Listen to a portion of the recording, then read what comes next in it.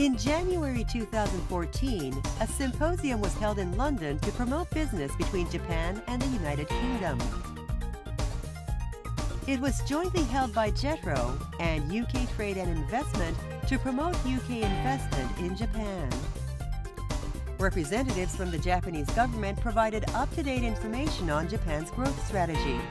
Also, they explained the attractiveness of the Japanese market business opportunities and incentives for inward investment into Japan, which will be broadened due to the Tokyo Olympics and Paralympics in 2020.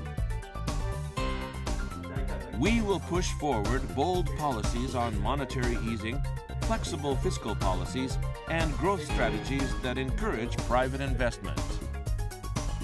Executives from UK Employers Association shared their views on strengthening the economic relationship between both countries. The first, and arguably most important, is the ongoing EU-Japan Economic Partnership Agreement talks.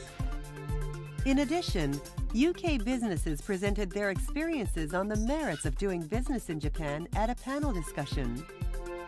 I'm hoping to possibly open an office, maybe a virtual office in Tokyo, um, maybe this year. So it, it gave a lot of useful information.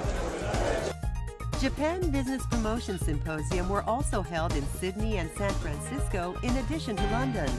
In each area, lively discussions were held on conducting business with Japan.